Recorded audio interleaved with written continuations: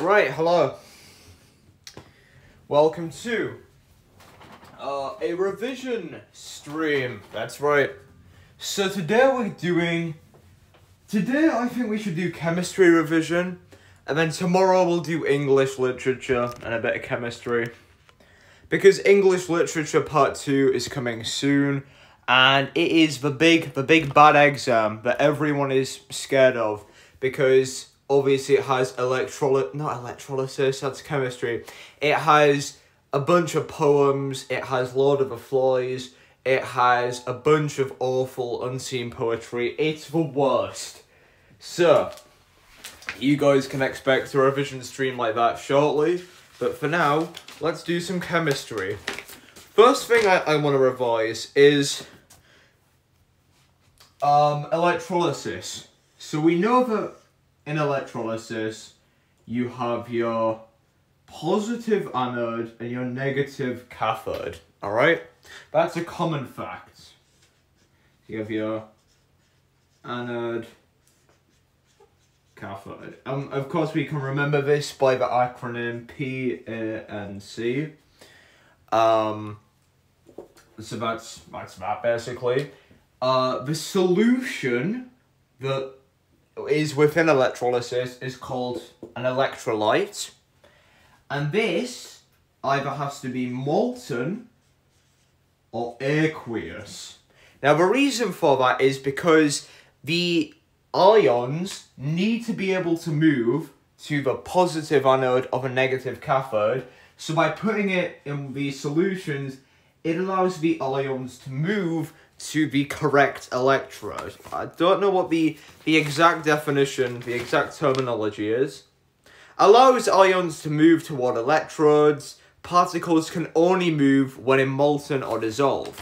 The reason for that is because in a solid structure, the particles uh, cannot move, but when they are in a liquid form, they are able to move. That's a common fact. Now, what electrolysis does is it breaks down the ionic lattice, which allows the particles, um, the different elements to go to the different things, alright? Um, now, we can do ionic half equations to kind of explain this in a bit more detail. Basically, ionic half equations are things like if we were doing electrolysis of magnesium chloride, okay, magnesium chloride, basically, um, it would be, ah, see, so what you would have is magnesium 2 plus and your chlorine negative. Now, um, Oh, chlorine is diatomic, which means it would actually have a 2 there. So that obviously means that your chlorine is going to be attracted to the anode, your magnesium is going to be attracted to the cathode, because again, opposites attract. Um, now, this is the important bit that everybody doesn't understand, so I'm going to try and explain it to you guys the way I understand it. Okay. So in an aqueous solution, um, in a molten solution, it will literally just be these two elements here, okay? But you'll have a magnesium there, you'll have a chlorine there. Alright, that's in molten. Basic as. But in an aqueous solution, you have H2O because it's dissolved in water which now means you have hydrogen and oxygen in the mix. So how does that work? Well, if, if, if, if, um, let me have a, let, let me just go have a look. So if the, so, okay. So in the negative electrode, it will either be your metal or hydrogen. Okay? One or the other.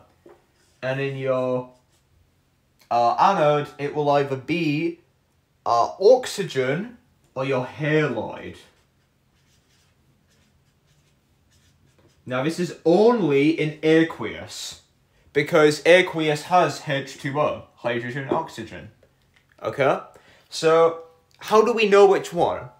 Well, in our negative cathode, it will either be a metal or a hydrogen, depending on how reactive the metal is.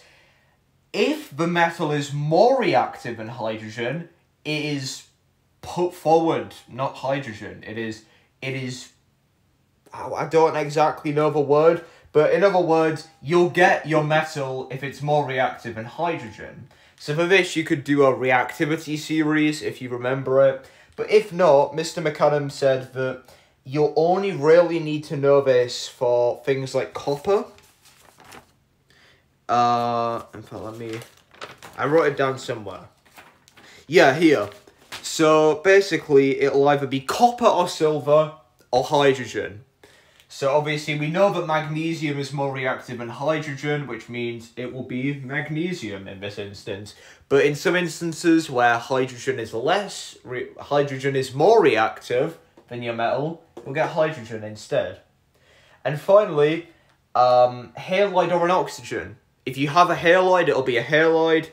If you don't have a halide, it'll be an oxygen. Uh, okay, so you see here, chlorine is a halide that means you'll get your halide. But if we had something else like phosphorus, it would be oxygen instead. I hope that makes sense. This is only in aqueous solution because that's where you get H2O. It is not in magnesium, not in magnesium. It is not in molten because molten doesn't have any water, all right?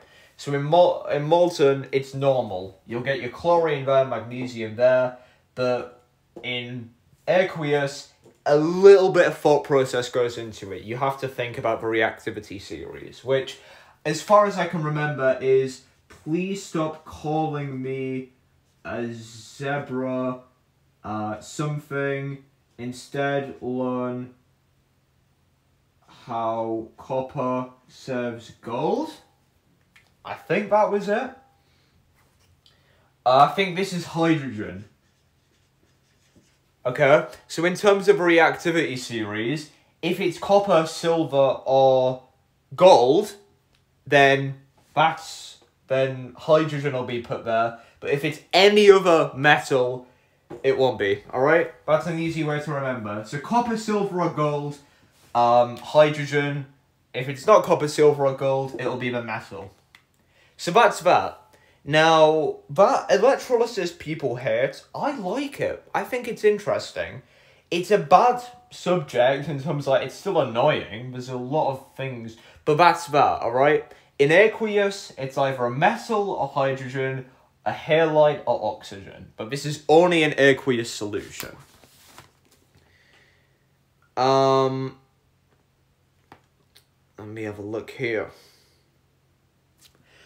So that's electrolysis. Okay. We could also take a, a quick look at neutralization, which you could get many marks for in an exam for stating the obvious.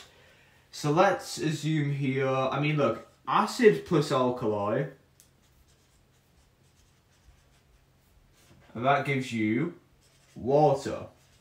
So an acid disassociates in water to give H plus, alkali is OH minus, and then obviously H2O.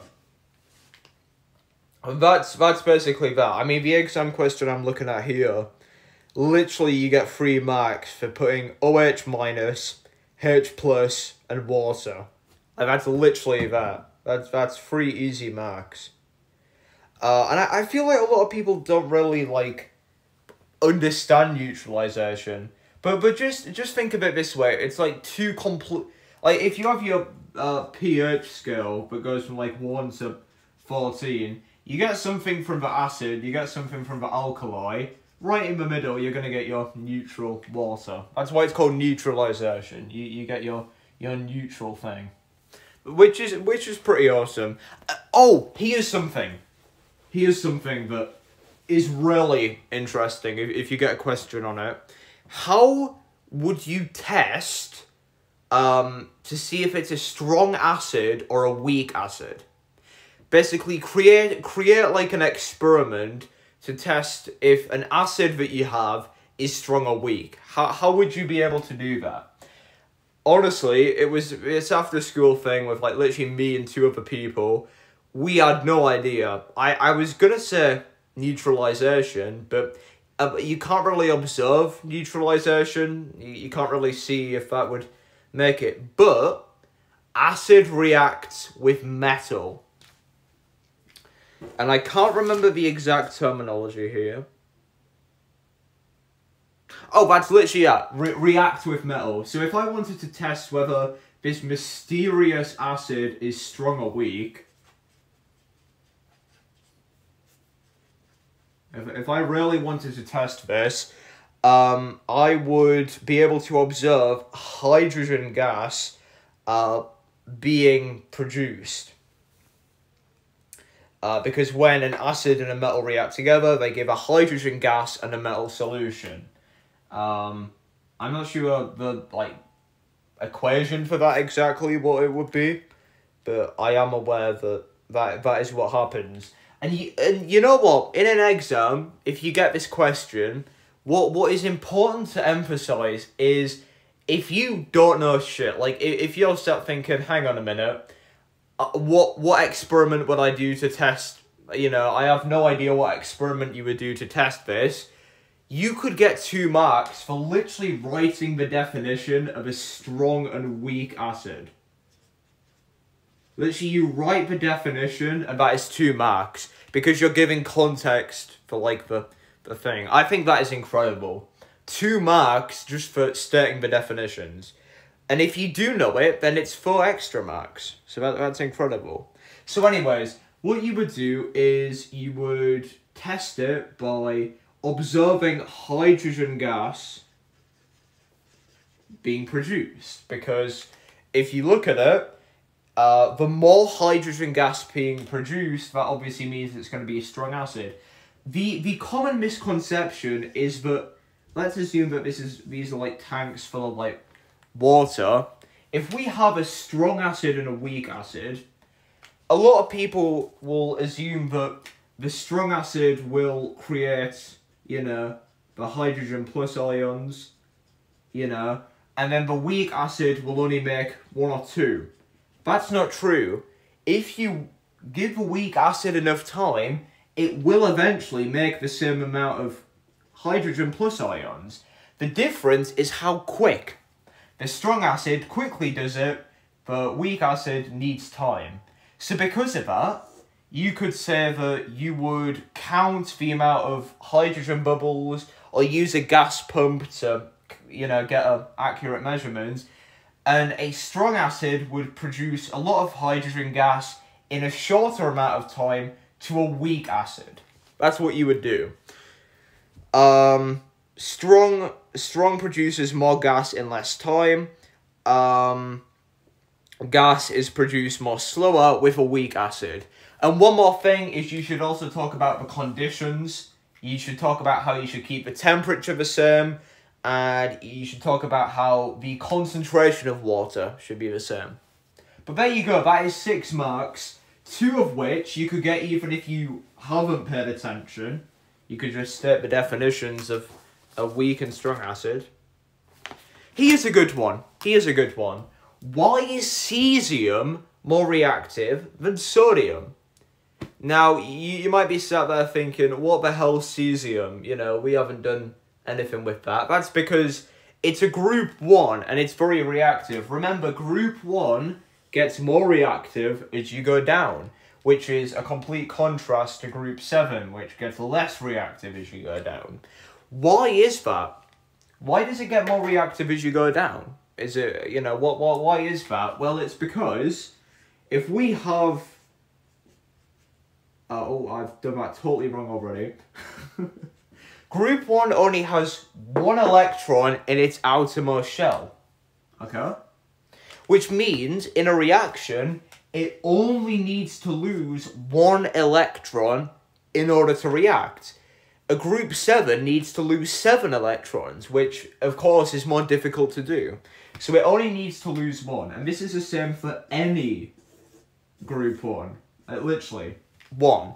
But an important thing to understand is notice how the nucleus is a positive charge. Because think, you have your protons which are positive, your neutrons which are neutral. It's a positive mass in the centre. Okay? Electrons are negative, which means opposites attract. You have your electrostatic force. And to begin with, this electrostatic force is going to be strong. Like right here, uh, an electron there is going to have a strong electrostatic force. But as the shells go on and on, and the distance between the electron and the shell increases, the electrostatic um, charge, electrostatic force becomes weaker, which means it is easier for this electron to be lost. Furthermore, the only thing you need to say in your exam to get another mark in this question is that shielding occurs. Literally just says shielding occurs and you'll get one mark. I don't know what shielding is. I'm assuming it's because the other electrons are making it more difficult for the charge to, uh, you know, uh, the forces to attract. I'm not too sure, honestly. But literally, if you just put shielding occurs, you'll get a mark. Um, so yeah, outer electron has a further away attraction to the positive nuclei. Oh, and you should also just talk about the number of shells. There are a lot of shells in cesium, which means that it is going to uh, be further away. So that's all you need to say. Cesium has more shells, so the electron is further away. It only needs to lose one electron, and the electrostatic forces are weaker because of that distance, which means it can be lost easier, meaning shielding occurs. That's literally all you say, and that could be four marks in an exam for talking about why group 1s are reactive. So there, we've gone through electrolysis, we've gone through neutralization. Let me go look at some other exam questions here, and let me try and explain them as best.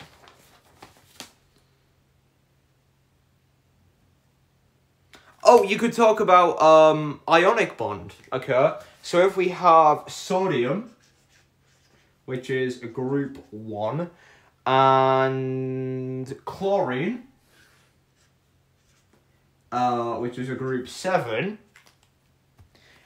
um, the sort of, so we're, we're assuming like it's, we're gonna react, alright?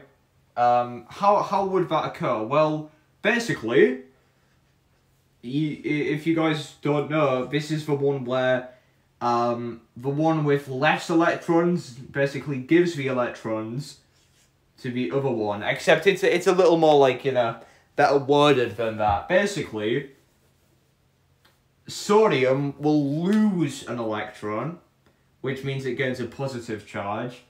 Um, and chlorine will lose, will, will gain the electron, and will gain a negative charge uh, people seem to be a bit confused by that. Like, why does it gain the opposite charge? Well, think about it.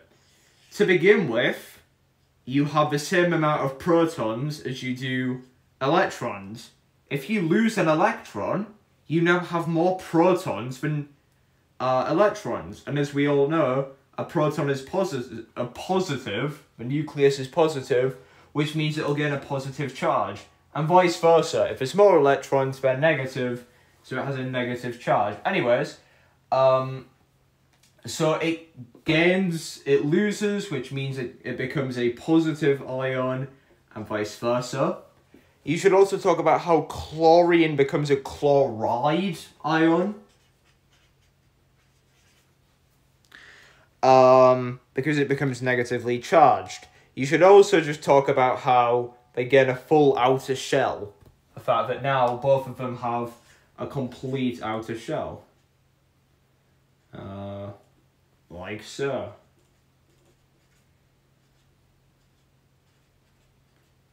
Very cool. And also, just to get maybe one or two bonus points, just talk about the size. So say how this one loses one electron, which means it gains a plus one charge. This one gains an electron, which means it gains a negative one charge.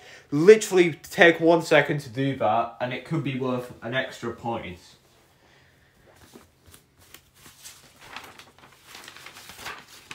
Oh, a lot of stuff here. Oh, our favourite, the one that we've literally been doing since day one, but is actually kind of different to how I initially described it.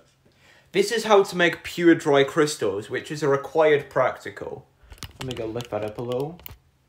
So how would you make pure dry crystals? Well, you would put put your reagents into a beaker.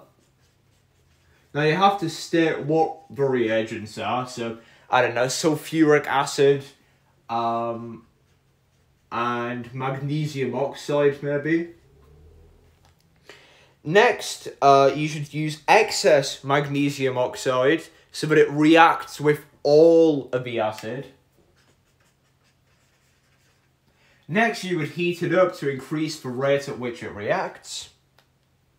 Uh, you should also state what thing you're going to use, like how you're going to heat it up. So, a Bunsen burner, heating it gently.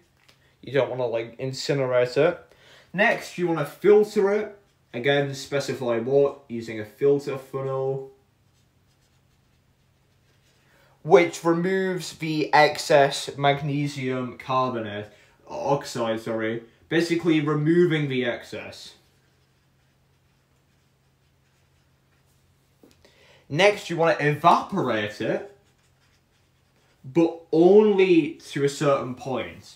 You want to evaporate it so that most of the water is removed, but not all of it. Um, and then finally, crystallize by leaving it out in sunlight to remove the excess water.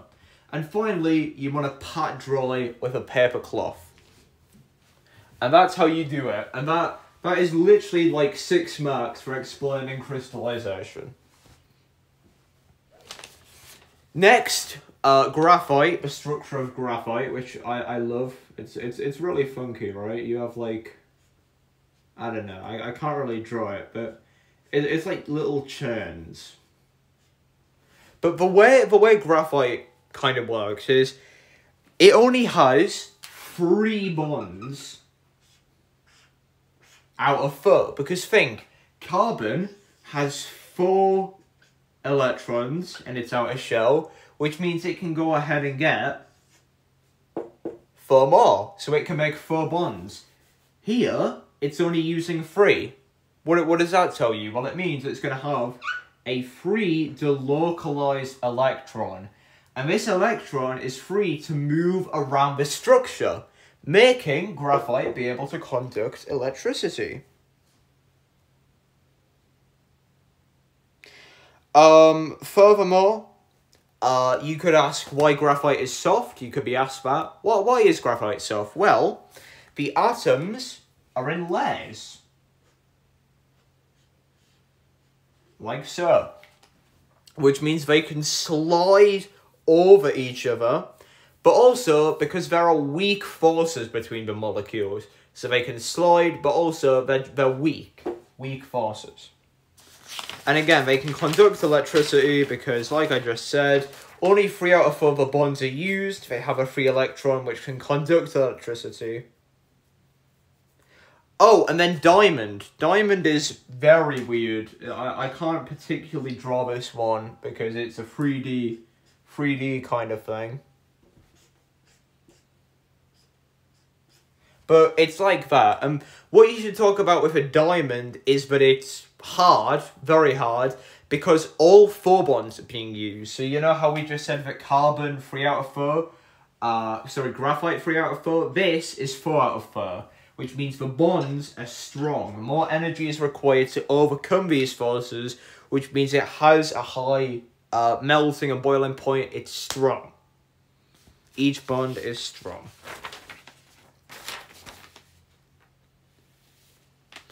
Uh, fullerenes uh, in case you get asked about them, it's a hollow nanoparticle made out of carbon. An example could be carbon-60. Um... Oh, the definition of an element is a substance made out of one kind of atom.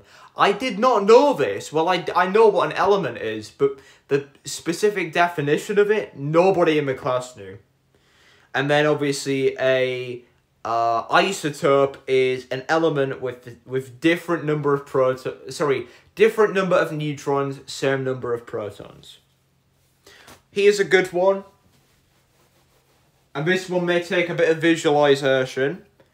Okay why does chlorine have a low melting point? Why? Well we know that chlorine is diatomic so we can visualize that by having two chlorine bonded. Now think about that. That makes this a simple, simple covalent? Yeah, a simple covalent molecule. Because it's just two of the same. Simple covalents, as we all know, have weak intermolecular forces, which means there is less energy required to overcome um, the bonds between the molecules.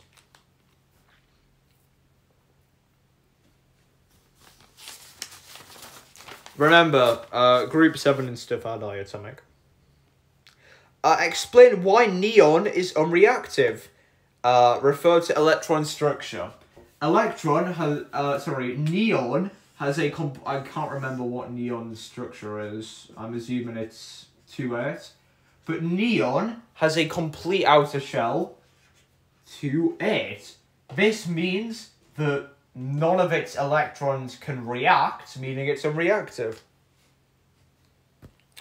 Oh, okay, the, the correct wording there would have been, has the electron structure to it, which is what we just said, meaning it has a full outer shell, it is already stable and cannot react.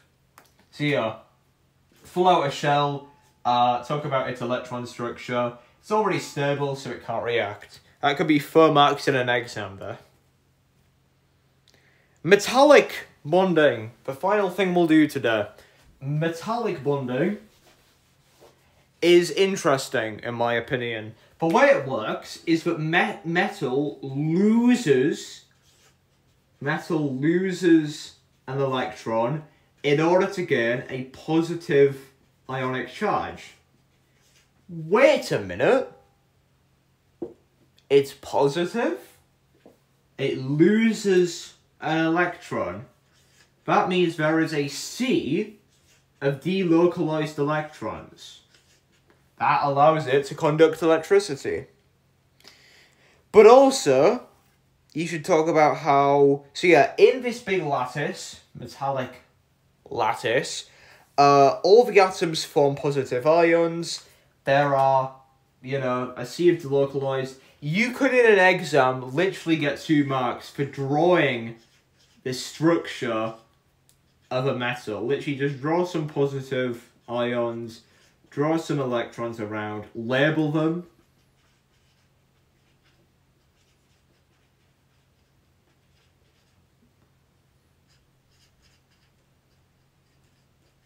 Literally just do that and you get some marks.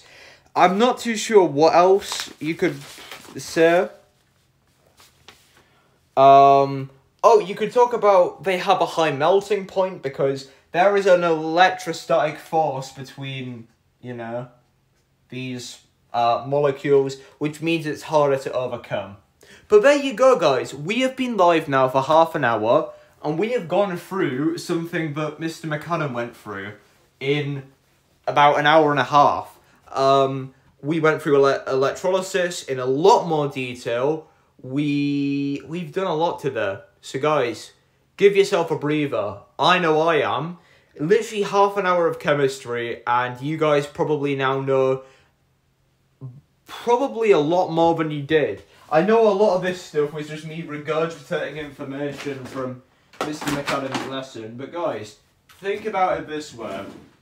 Um, you know, it is what it is.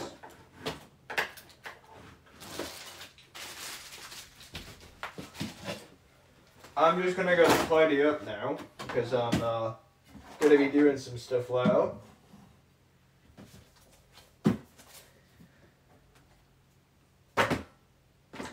But yeah, There you go.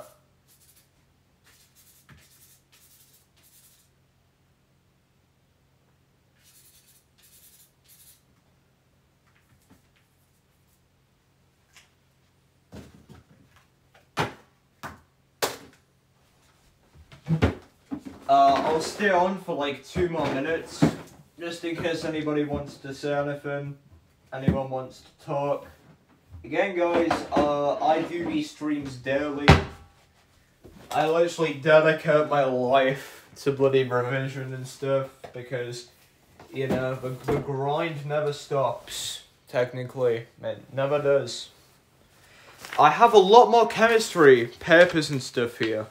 I have this whole worksheet of stuff that Mr. McCann printed specifically for me and Dylan and TJ, which is literally what I've just gone through in today's lesson, uh, except in a, a touch more detail. Some stuff not as much. Oh, here's a metallic bonding thing quickly. In the lattice, all metals form positive ions. This means outer electrons are delocalized and move in between the positive ions. The electrostatic attraction between the ions and negative electrons hold it together.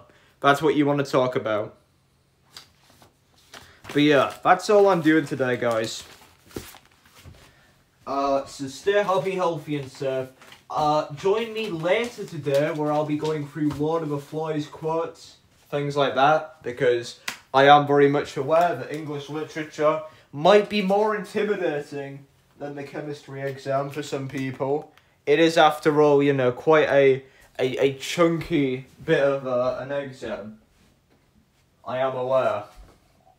I'm just tidying my room right now. I have so many bloody things that I can bin now. But I don't know. Obviously the biology exam is not until next week, which is great. Next week, uh, next month technically, it's in like about 20 days or something, which is great. That literally means that I no longer have to worry about biology for the minute, which is good. I can focus on other stuff. A little less incom a little less convenient, however, is the fact that we now have chemistry and literature part two. But anyways, guys, stay happy, healthy, and safe. I'll see you in a bit.